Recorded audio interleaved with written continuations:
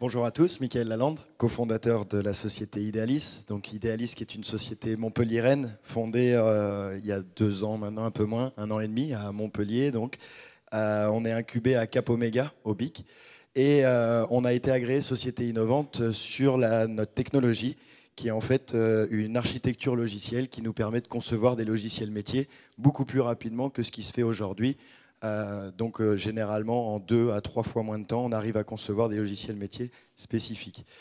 Euh, aujourd'hui, on a sélectionné deux secteurs d'activité en particulier chez nous. Donc le premier, c'est le secteur industriel, donc où on travaille avec plusieurs grands comptes nationaux qui, nous ont donné leur confiance. J'en parlerai juste après.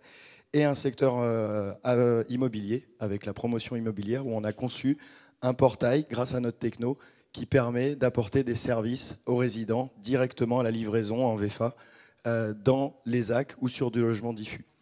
Donc euh, Idealis, c'est une belle histoire qui a commencé à, Montpellier, comme je disais tout à l'heure, avec un groupe euh, qui s'appelle Transdev et la métropole de Montpellier sous la TAM, les transports de l'agglomération montpelliéraine, ce qui nous a permis de mettre un premier pied dans la Smart City.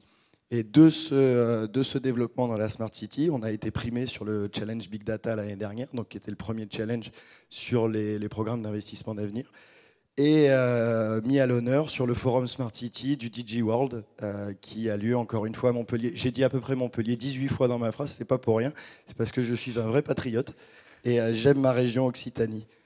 donc Idealis, ben, on a levé à peu près 17,50 euros puisque ma mère avait que ça, mais on a gagné par contre la confiance de très beaux groupes comme le Crédit Agricole, comme le groupe Transdev, des métropoles, plusieurs métropoles, et euh, tout récemment le, groupe Enedis, grâce à qui on est euh, justement ici aujourd'hui, euh, et, plusieurs promoteurs immobiliers. Je vais vous citer le plus connu qui est, qui est Bouygues.